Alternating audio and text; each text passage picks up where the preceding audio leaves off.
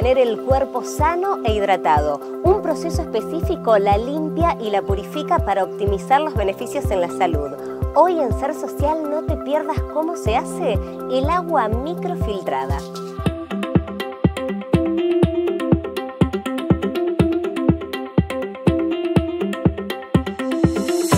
Asociar, aseguradora de riesgos del trabajo.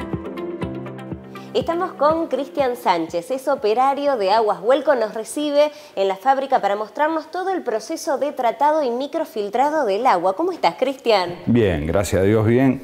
Acá trabajando y tratando de, bueno, de darle una buena explicación y un buen comienzo a todo a este reportaje y, ver cómo, cómo es el tratamiento del agua. Bueno, ¿y, ¿y, de qué se trata esto del agua microfiltrada, el agua tratada? Es diferente, ¿no? Al agua de grifo o al agua mineral. Exactamente, tenés un tratamiento donde tenés el filtrado en, en filtros de, de, piedras que sacan las impurezas, ¿sí? Eh, a través de eso pasa por una clase de filtros de, 5, eh, de 20 micras, carbón activado, cual, el cual le saca el cloro y tenés el de 5 micra que termina sacando todas las impurezas. Esa es la diferencia a tomar directamente el agua de la canilla.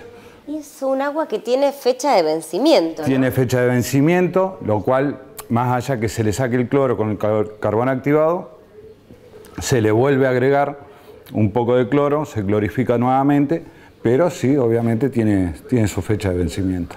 ¿Qué cuánto es? 60 días. 60, 60 días. días aproximadamente. En líneas generales, quienes consumen eh, agua de dispenser en 60 días, obviamente ya... No, no, no se consume mucho, mucho antes, Claro. en casa de familia.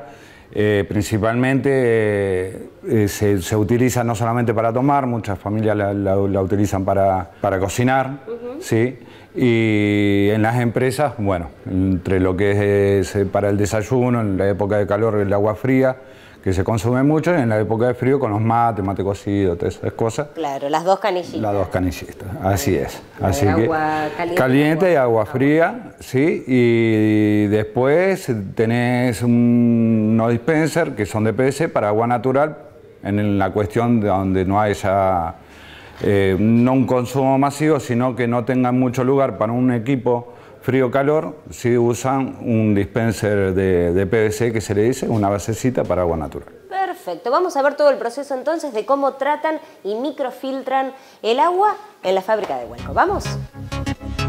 La Valenciana Showroom. Corrientes 276, Rosario. Estamos en el primer tanque donde se comienza a hacer todo este tratamiento del agua para limpiarla y para microfiltrarla. ¿no? Así es, acá empieza todo el tanque 1, a donde se usa como cisterna, ¿sí? por, eh, ingresa el agua de red, ¿sí? pasa por un filtro de piedra y arena y pasa por el tanque 1, que se usa como cisterna, tiene una capacidad de 2.750 litros, ¿sí? acá a donde empieza todo el- el- el proceso. Bien, esto está conectado entonces con el agua de red. Con el agua de red, nada más que en el agua de red, y pasa por el primer filtro que solamente saca impurezas, digamos, más grandes, ¿sí? En el caso que traiga, que es un filtro de arena, piedras, y van, van disminuyendo los, los tamaños de la piedra hasta llegar a la arena. ¿Cuánto tiempo tarda más o menos en, llegar, en llenarse? En llenarse y tiene, eso también depende mucho de lo que es eh, en el momento de- del llenado, todo, pero lleva su, tiempo, son dos o tres horas muchas veces, según también la presión. Al no poder ponerse una bomba para que se apure el proceso de llenado, porque está prohibido, entonces jugamos con lo que es la presión de, de- de red, nada más. ¿Y se hace una sola vez al día el llenado de, esta, de este tanque? De este, este tanque, a medida que se va llenando, eh, o sea, se hace el llenado de bidones, eh, tiene un flotante, a medida que se va vaciando, se va llenando automáticamente solo. Pero jugamos siempre con eh, la cuestión de lo que es presión de red, porque al no poder poner una bomba de, para chupar de- del agua de red, o sea, simplemente es por la presión que venga. Si los demás tanques, ya el proceso como es de hacia adentro, en fábrica sí los demás tanques se, se, se llenan a través de bombas. Bien, pero este entonces lo que hace es limpiar las impurezas más grandes. La más grande. lo más grande. Exactamente, eso es lo más grande, este es el primer proceso que tenemos. Perfecto, vamos al segundo. Cristian, estamos acá delante de los tanques 2 y 3. 2 y 3, sí. Eh, acá ya venimos con una... A partir de la cisterna, como habíamos explicado antes, que ya está con una parte del proceso de filtrado, desde la cisterna se llenan estos dos tanques, ¿sí? todavía no con el proceso final de lo que es el, filtrado del agua. Sí, se usa también para eh, tener una reserva eh, para poder eh, llenar, porque si no, o sea, se, haría muy difícil poder llenar con solamente el agua de la cisterna o lo que viene en agua de red. Entonces se usa como eh, complemento, para después sí ya ir al producto final. Perfecto.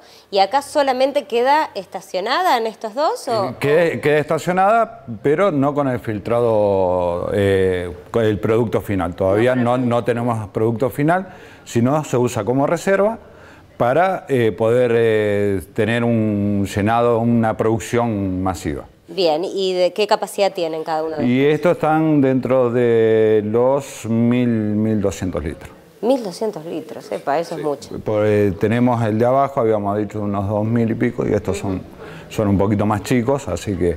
Pero tenés entre los dos, tenés casi la misma capacidad de lo que la cisterna. Muy bien, seguimos. Aproximadamente el 92% de la sangre que recorre el cuerpo humano y el 75% del cerebro están compuestos por agua. En total, un adulto promedio pierde diariamente 2.5 litros de ella a través de la orina, la respiración, la transpiración y el proceso digestivo. Cuando la hidratación no es la correcta, se pueden experimentar mareos, náuseas, dolor de cabeza o calambres musculares. La recomendación es beber 2 litros de agua todos los días.